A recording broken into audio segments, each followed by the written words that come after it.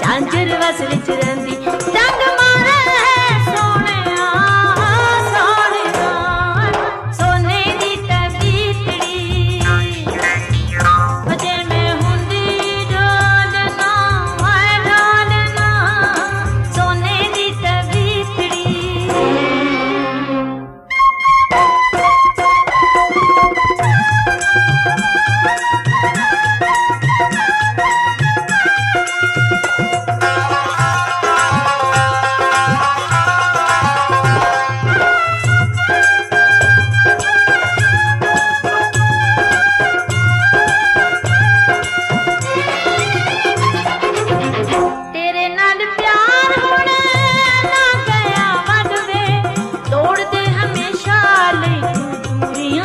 ਦੂਰੀਆਂ ਦੇ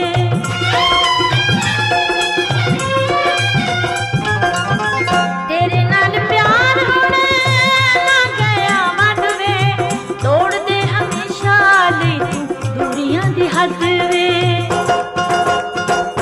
ਮੈਨੂੰ ਇਸ਼ਕ ਦੀ ਅੱਗ ਵਿੱਚ ਪਾ ਕੇ, ਸੋਨੇ ਦੇ ਵਾਂਗ ਪਿਘਲਾ ਕੇ, ਤੂੰ ਬਣਾ ਸਾਜਣਾ।